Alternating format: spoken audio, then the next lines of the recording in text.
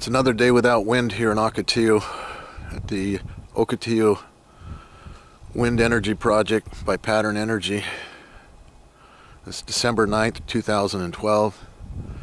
This project has been online for one week now and the problem is there hasn't been any wind. As you can see, there's no turbines turning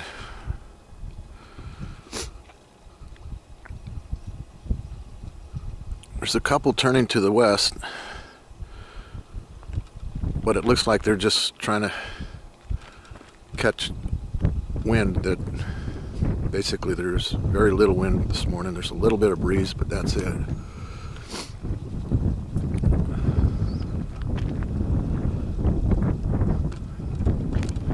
These industrial scale wind turbines require a lot of wind to put out the 2.3 megawatts that they are promising everybody that they're going to be putting out.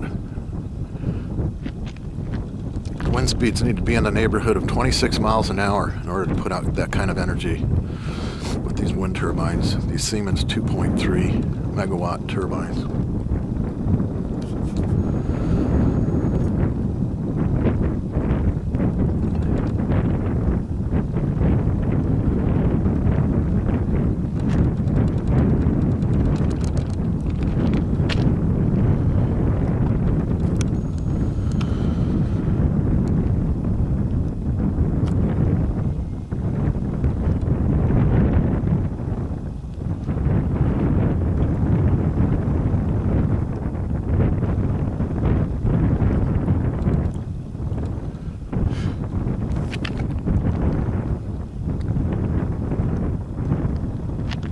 There's wind, one wind turbine spinning there.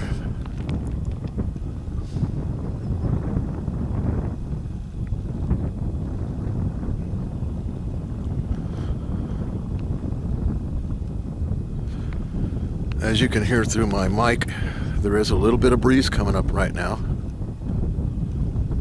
Coming from the west